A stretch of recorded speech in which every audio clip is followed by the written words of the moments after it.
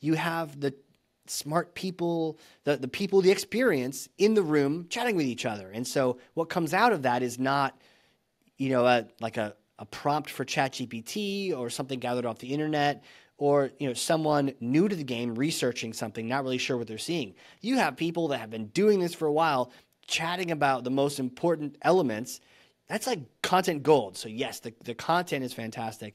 But i will say there's also this aspect of business development and direct revenue from a podcast which is fascinating and, and what i found is if if when you're doing your your guest invites and you're and you're thinking who can be a, a guest on the show if they if the targeting is hardcore, if the targeting is strict, you don't really have to sell, right? So it's not a sales thing. We're we're evangelists. We're not. It's not chief revenue officer. That's a different you know guy or gal. This is evangelism. But I found that if you're speaking to the decision maker of of a dream company, dream customer that your company could have, and you're like, these people fit everything. We've designed our tool, our services for them. Like this is the archetype of who we want to help, you get on a call with them, chances are nine times out of ten they're already looking for something like yours, or if not, they soon will be. And so there isn't. It's not really a sale. It's it's like the the best kind of evangelism where you met someone and, and now you can connect them with sales. Or the flip side is sales has been trying to talk to these people for a while and they don't want to play the game. They don't want to get on the, the phone call. They're not noticing you. They're not right. You could skip all those games and have the exact person at that giant company.